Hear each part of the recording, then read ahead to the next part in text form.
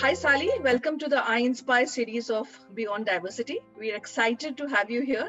So, you know, to start to start off, do you think this pandemic has been an opportunity, and how? Oh yes, I think it's been an opportunity, and and in saying that, I'm not trying to diminish the pain that it's caused, but I think especially for women, uh, having uh, organizations see that uh, flexibility uh, in terms of whether you're working from home or doing a hybrid model. I think that's going to really support women in their careers going forward. I think it's going to be a major turning point when we look back. Okay, and apart from women, how else do you see it as an opportunity in terms of future of work? Well, there's a big opportunity in that I think a lot of the visa problems are going to go away, and that's going to have a huge impact on the subcontinent. Um, and I was reading an interview with the chairman of the Tata Corporation in the Financial Times, and he was talking about that. So I think that there will be less migration for jobs around the world that can be done virtually and people will be able to stay in their home countries and that will have good implications for families and that it, it that, that that's going to be very very significant ending that that dependence on visas that's been so characteristic especially in the development of technology. And i think it'll be very good for con- com- countries like india. Great. So focus on local and of course reducing the carbon carbon foot, uh, footprint. So more local is what we will be looking at. Okay. So that's that's that's great. So sally um, the definition uh, of success has changed for many. Uh, what would success mean to you in this current scenario? I think success in this current scenario means being able to lead a life that feels balanced and whole, where we really are able to spend enough time with our families, our friends, the people we love, while also having satisfying work, not see those as so much something we have to sacrifice one in order to have the other. Uh, and I really think of success in terms of contribution. And the people I know who have been most successful talk about it, not in terms of achievement, but in terms of I was able to contribute this, I was able to contribute that. So I, that's how I, I think we'll have more of that framework going forward. Super.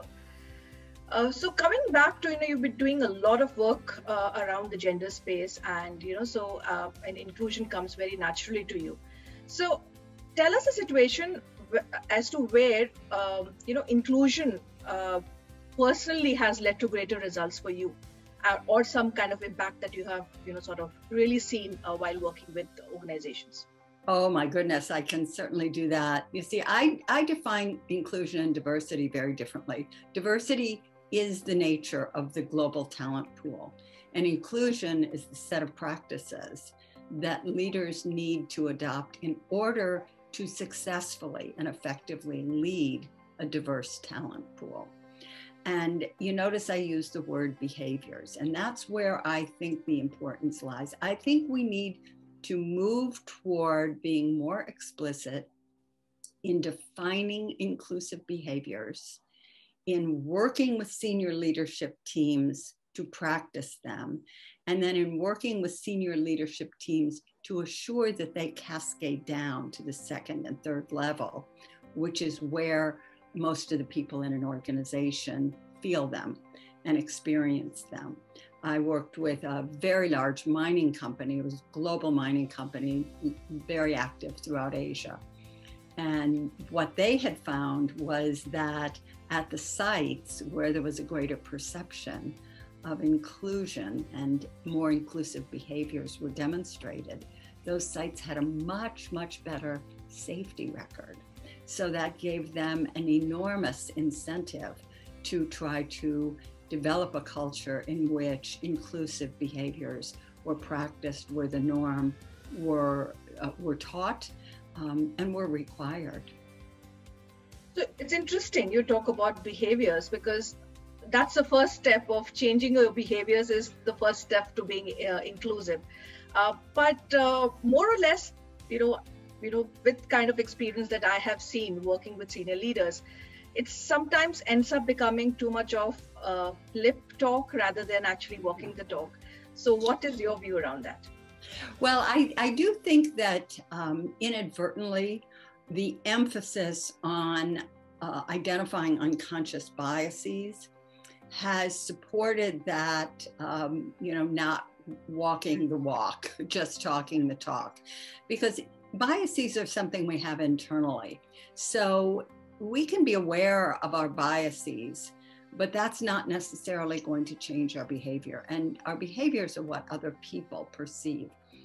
Our behaviors are, are, are our actions. And that's where uh, that's where it's real. So when you focus on behaviors, when you focus on the actions that comprise an inclusive behavior, that requires you to uh, walk the walk as opposed to just talk about it. Whereas you can pay lip service to, oh, I had a real breakthrough on, on inclusive bias. I discovered that I have a bias about this, that, or the other. Okay, fine. Where do you take that? There's no program for action there. This requires action, not, not analysis. So, how do leaders have that breakthrough thinking? Is it via innovation, or is it via, uh, you know, more observation? What what what is your say? I think what they they have the breakthrough thinking first of all through self awareness, first of all from genuinely learning to put themselves in other people's shoes, which can be hard because when you're in a leadership position, you've got so much protecting you. And I remember being part of a program uh, once with, uh, I think it was a, a, a they were managing uh, partners at law firms from around the world. And I was seated next to a gentleman who was, you know, very, very powerful in his field and he was talking about how hard it is for him to relate to you know some of the problems that people who come from diverse backgrounds in his company express and i said to him you know is there any time when you felt misunderstood when you felt like people really didn't understand what you were thinking or feeling or dealing with and he got this pained look on his face and he said, Oh, yes. He said, I have a severely autistic son and I see how he's judged. He is a wonderful boy. His behavior is at odds with who he is. And I see how he's judged, and it is so painful for me. I feel like I can't express, you know, who he is or what our relationship is. And I said, well, you know, that's the feeling that not, it's not the circumstances, but that's the kind of feeling that people who are perceived of as being outsiders in your organization, that's something like what they feel. So he wrote me back a, a six months or so later and said, This gave me real self awareness about how to be more empathic about what other people are feeling. So empathetic, I think, is one of the biggest trait that you're talking about. Of course, awareness comes first, and then empathy uh, of you know getting into the other person's shoes and trying to understand uh, the other person's perspective. Um, but uh, in this fast-changing world, and especially with you know with this new thing, the, con- concept of COVID, and you know you're talking about digital, you're talking about artificial intelligence somewhere down the line it gets lost because everybody is essentially trying to you know sort of uh, run for themselves. Uh, so in this kind of a scenario where does uh, diversity and inclusion fit in? Well i think that well the, the, first kind of way you started to ask that question i think that the key for, for leaders is going to lie in the ability to listen. And i think we're going to have to spend more time helping people learn to listen. Because there's something that is really distinguished from artificial intelligence because any of us who've interacted with artificial intelligence knows how hilariously they often misinterpret what we're saying. They don't have the capacity for real listening. They have the capacity for kind of processing words, but the intention isn't there. So I think that listening skills are going to become a real key part, you know, as artificial intelligence plays a bigger role, which of course it's going to, then what is human in us needs to be emphasized. Tom Peters makes this point all, all the time. So we are going to we are going to manifest our value through our most human skills and most human abilities. And one of those is to listen closely. Uh, and um, so leaders can spend more time doing that. I always bring up the example of Peter Drucker. Peter Drucker had a rule that in any meeting, in any situation, he was the one who spoke last. And he did that partly because he knew he was very influential. And if he said something, then everybody's going to agree with him. But he also did it as a discipline so that he would listen. And that's that's it's so nice to hear because if leaders like them, you know, think so importantly about uh, the art of listening, uh, and and we as individuals are also so tuned to you know sort of give our views whenever it is you know even if it's not required um, I, I, think the art of listening is something that we all need to cultivate especially to build a more inclusive world as well. Okay so uh, you know coming you talked about empathy you talking about um, you know uh, you talked about this entire thing about uh, you know innovating and of course the new world order. Uh, and with this the major conversation which people are really talking nowadays is about resilience so and we've heard this word so much in this pandemic so what according to you are the traits to be resilient well, I think I, you know, I've spent my last 32 years studying women and women leaders. And one thing I know about women, and anthropologists bear this out, is that women tend to build resilience through relationship. And that it's that um, tend and befriend response uh, that anthropologists talk about. So that when women are under stress, it becomes ever more important for them to be in touch and have relationships that matter to them and that and i can speak from my own experience that is absolutely true uh, and i i'm wondering if that's going to become more important for men as well uh, to do that that's going to be a very interesting thing i think that we don't know the answer to um, that i'm watching a number of networks and a number of groups that I am part of where men are participating on a more personal and vulnerable level. And I'm talking about men who are, you know, real high achievers. Uh, and and I, I, I, as I watch that, I'm wondering, are they doing that to build their resilience? Because this is a period in which um, we're just being hit with so lot with so much and things are changing so so rapidly and so resilience is really more called for than ever and i wouldn't be surprised to see men evolving into um, being more comfortable with building somewhat more intimate relationships rather than the kind of you know hey how's it going you know how about that game Saturday, at least we have it in our country, um, mentality. You know, we're just talking about sports events, etc., as a stand-in for intimacy. So you're talking about building relationships. You're talking about intimacy. Uh, for me, even resilience also means that it's some amount of taking risk. Yes. Um, so you know, so risk taking and agility go together along with resilience. So what's your take on the same? Well, I think the thing with risk is getting comfortable with taking measured risk, not silly risks. But uh, it's one thing I really, really teach in the workshops I do is that when you practice a new behavior, it feels risky and it feels uncomfortable because your mind's saying, wait a minute, what are you doing that for? This is how we do it. Um, so you feel uncomfortable. So, what's valuable is to become comfortable feeling somewhat uncomfortable because you're self aware enough to recognize I'm changing this. I'm not used to this. This is a new behavior for me.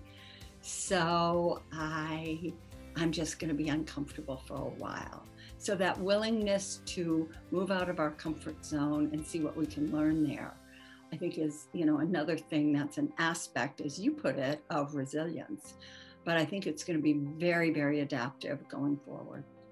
No, and I love it where you said, you know, being comfortable by being uncomfortable. I think it, it is, it is, it is the mantra for uh, today's world. So, uh, you know, so you know, when we're talking about now risk taking and we're talking about my next question comes around potential. Uh, and potential is a double edged sword. Sometimes, despite it, one doesn't get immediate results. So, what's your take on the same? And um, if you have any situation where a potential, uh, you know, uh, any situation or understand a situation where potential has, you know, you know, really, really, you know, sort of come into perspective, any any situation that you can relate to us. Oh, certainly. I have, have long experience dealing with this. As I'm sure you know, um, uh, research shows that in organizations, women are likely to be judged on their achievements, what they've actually accomplished, and men on their uh, their performance assessed on their potential.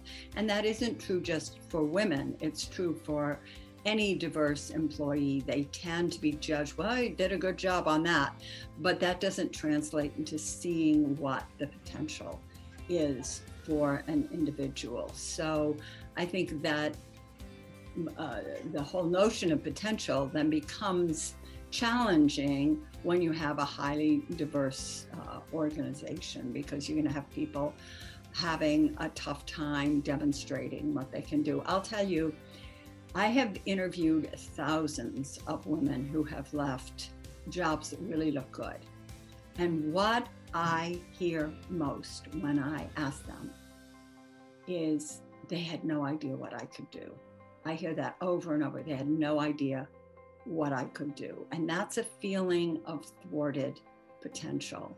So I think organizations are going to have to find more accurate more inclusive, more robust ways of assessing potential and taking small risks of giving people assignments, even when they don't imagine they have the potential for it, uh, so that they can really learn where the potential lies instead of going to the usual suspects. I think we lose a lot of uh, innovation and creativity and talent that way.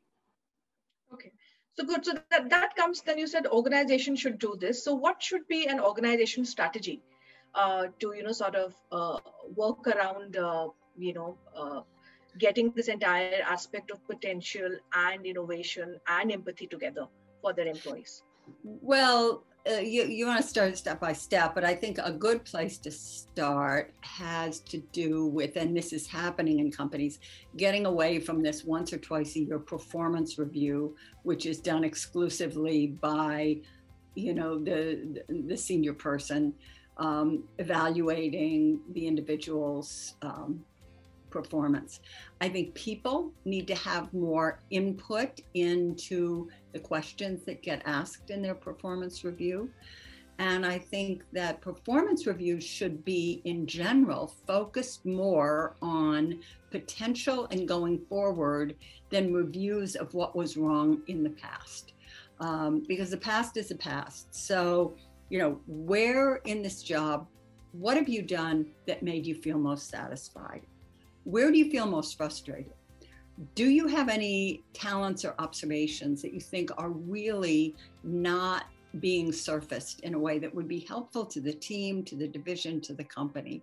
Those kinds of questions, you know, when I think back, I had a whole career in corporate communications before I started writing about uh, women's leadership and then inclusion and diversity. And in that time, when I look back and think how differently that career would have been if I had ever been asked questions like that.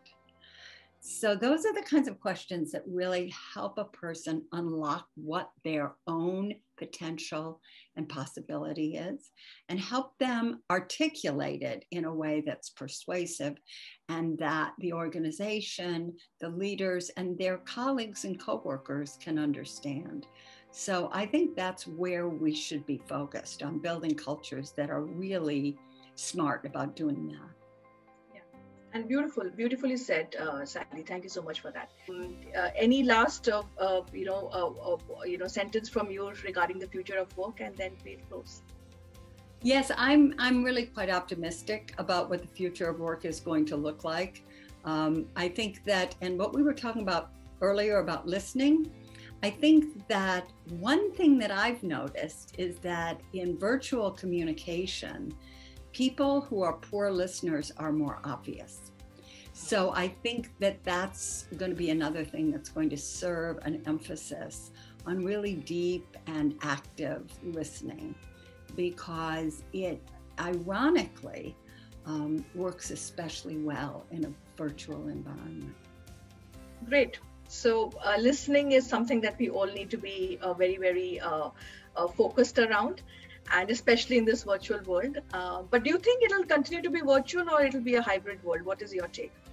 Oh yeah, I think it'll be hybrid. I mean, I go back to the that interview I read with the chair of uh, Tata Corporation, who said that that he expected that their workforce would be either hybrid or all work from home at 70% by the end of this decade, and um, that's that's that's quite something. And and i see it going in that direction. Obviously certain sectors you've always got to have people there.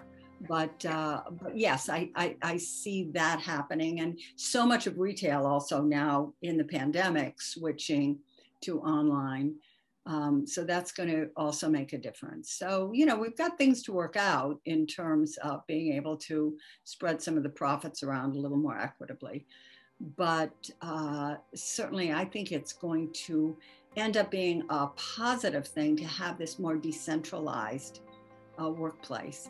We don't need it anymore. The workplace was centralized because the means of production in the Industrial Revolution were too heavy and too expensive to have in any more than one place. That's not true now.